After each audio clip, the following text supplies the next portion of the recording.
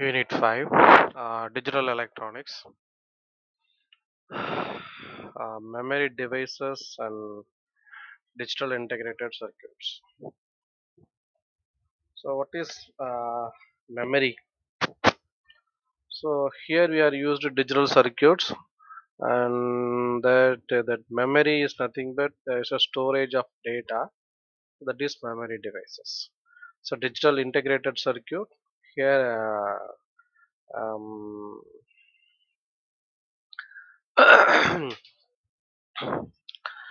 so the memory devices computer memory.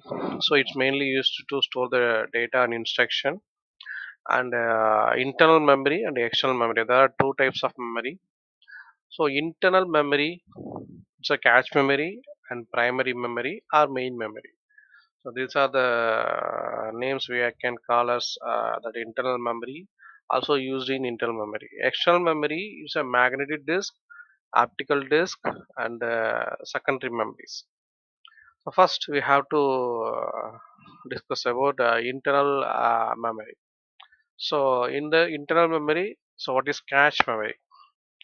So cache memory is a very high speed semiconductor used in that cache memory uh, also it is used in cpu so should be a very fast uh, uh, memory. Also it can uh, hold the data and program which are mostly uh, frequently used by cpu so this is a table uh, cpu register cache memory main memory magnetic disk optical disk and magnetic tape.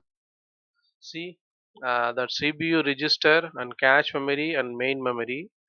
So these are uh, internal memory and magnetic disk optical disk and magnetic tap.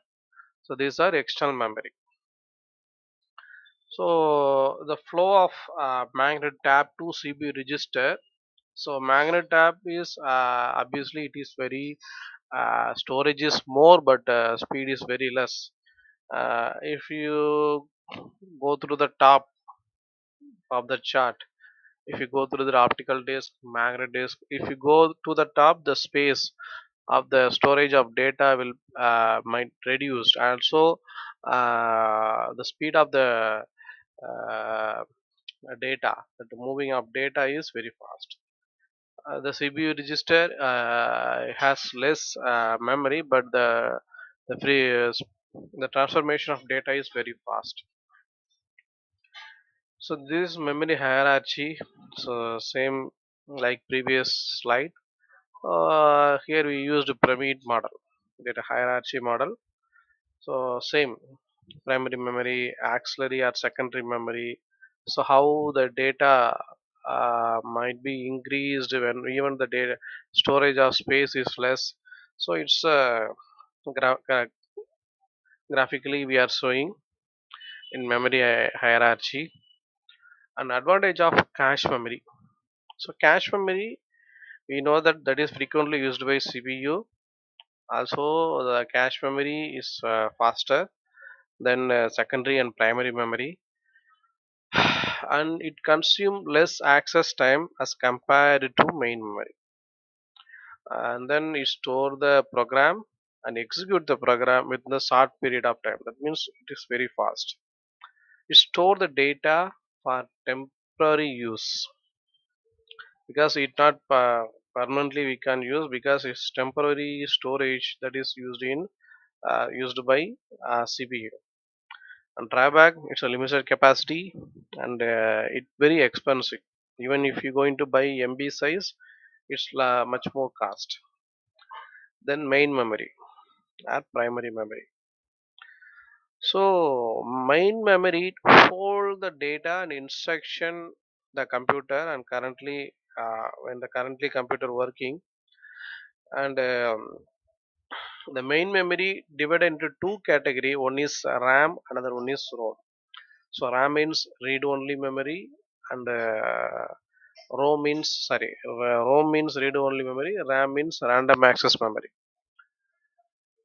okay uh, then uh, the secondary memory is slower than a cache memory uh, that is we will see the next videos So this is the classic ca- category of uh, memories. How they categorized memory. So computer memory so split it into primary and secondary. So in the primary, uh, we know that uh, that is a RAM ROM. That's the internal memory or main memory. So in RAM, random access memory, again they split it as uh, static RAM and dynamic RAM. And ROM read-only memory is a non-volatile. So what is volatile and non-volatile? That is we see in next video. And PROM and EPROM. So PROM, programmable read-only memory, EPROM. That is also we are going to see in another slides. Then EEPROM. Then secondary memory. That's a category of uh, computer memory. So under that, hard disk, SSD, compact disk, floppy disk, and magnetic tap. Okay. Uh, so remaining things we will see in next uh, video. Thank you.